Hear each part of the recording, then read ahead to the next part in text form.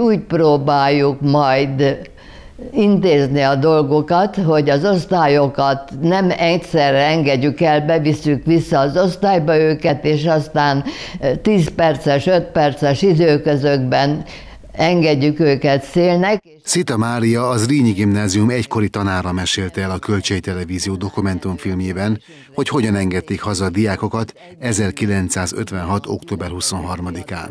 A forradalom a megyeszékhelyen nem 23-án, hanem 26-án tört ki. Akkor alakult meg az ideiglenes forradalmi munkástanács intézőbizottsága Szilágyi László és Tomosovszki András irányításával. Aznap délután Szilágyi László Tomosovszki András vezetésével majd létrejön a ideiglenes forradalmi munkástanács intéző bizottsága, ez egy ilyen nagyon faramúci cím, de minden esetre ez létrealakul, ugyanis maga a munkástanácsok lesznek az egyik hordozói magának a forradalmi eseményeknek, és ezért érthető, hogy Nyíregyházán is létrejön, majd és Szilágyi Lászlót választják meg az idéglenes vezetőjének.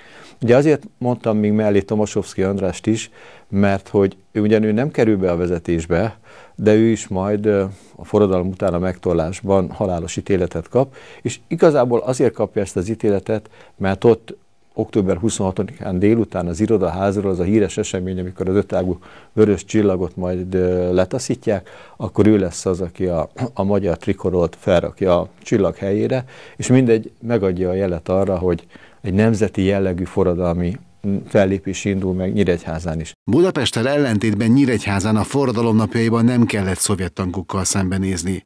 Záhonyban viszont igen. A határvárosban már október 26-án látták, hogy a szovjet oldalon készülődnek a katonák az invázióra úgy, hogy a politikai döntés sokkal később, október 31-én született meg a forradalom leveléséről. 31-én döntenek, de már 26-án összevonják a 38. hadtestet Záhonynál, és 26-ától kezdődően már építik a pontomhídat, annyira, hogy 30-án már átjönnek.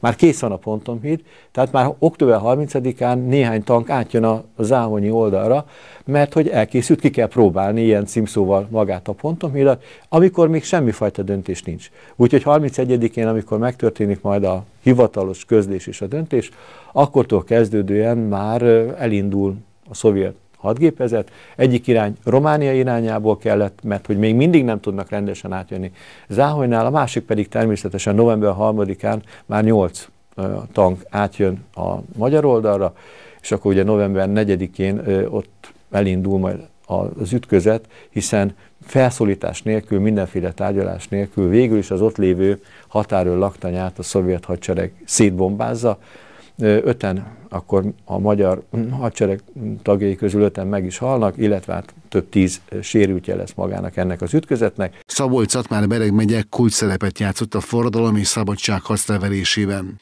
A közeli Ugváron vették fel Kádár János rádióbeszédét, és a szovjet csapatok is a megyén keresztül vitték el a szabadságharc letartóztatott hőseit.